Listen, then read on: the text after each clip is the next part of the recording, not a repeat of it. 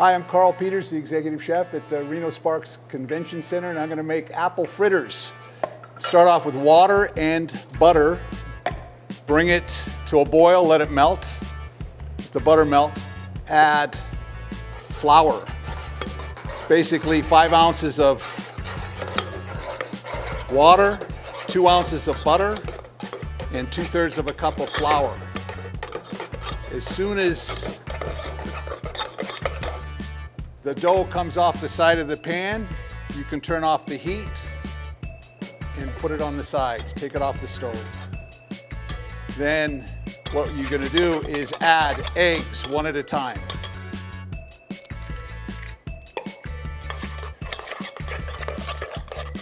You whip this around and beat this around until that egg is all incorporated into the, the batter. And you can add the next egg. Gonna add some diced apple and some toasted pine nuts. And this batter is ready to drop in the deep fryer. All right, now I have uh, my cast iron skillet that uh, oil is heated up to about 350 degrees.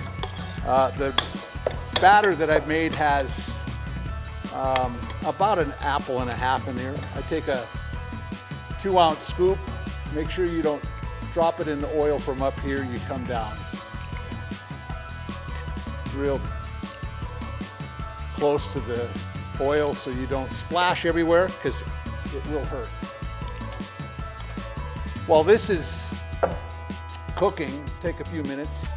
Um, I've made a creme anglaise, which is, which is egg yolks in cream, and you cook it until you get a nice consistency here. I add a little creme anglaise, and I got a local whiskey here from the depot. I'm gonna make a little whiskey sauce, just a touch, just for flavor, and maybe a little bit of heavy cream in here to thin it down. And this is what we're gonna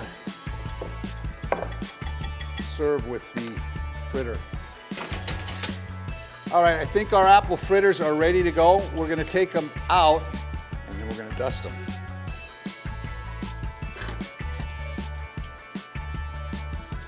And there you have it. Reno fritters with whiskey, Depot whiskey sauce. Enjoy.